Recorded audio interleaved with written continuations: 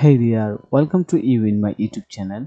In this tutorials, I am going to show you how to remove PayPal Express checkout button from checkout page in your Shopify online store. If you are looking easy and fast solution to do this without hiring any developer or any coding skill, then you can continue this video.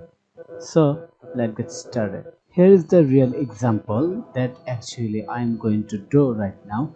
I wanted to remove this PayPal Express checkout button from this website.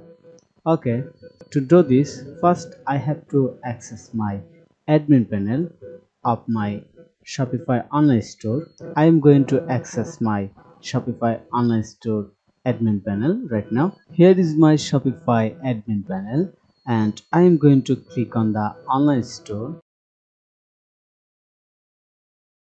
Then click on the action button. Select edit code.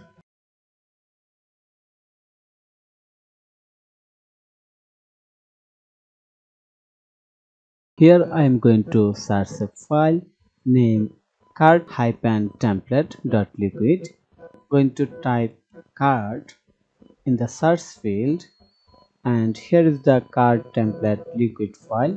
I'm going to click on this file to open it. Okay. Here i'm going to find out a code.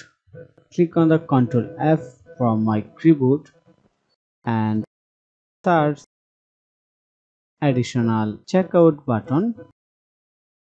And here is the code that i am actually searching or looking for okay.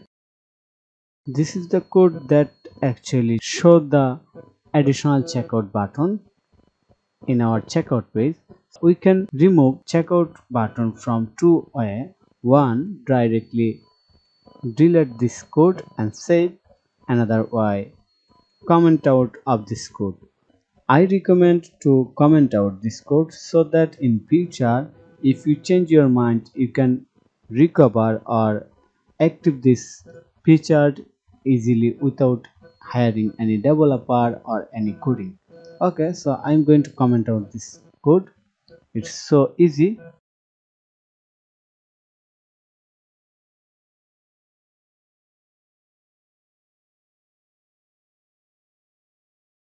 Okay it's done. Just click on the asset save now i'm going to refresh my browser and check the update. Okay so i'm going to refresh my browser. Wow we have done. We can see that there is no any paypal express checkout bar we have drawn this very quickly and very easily. So thank you for your time to watch this video if you think this video is helpful then click on the like button and subscribe to my channel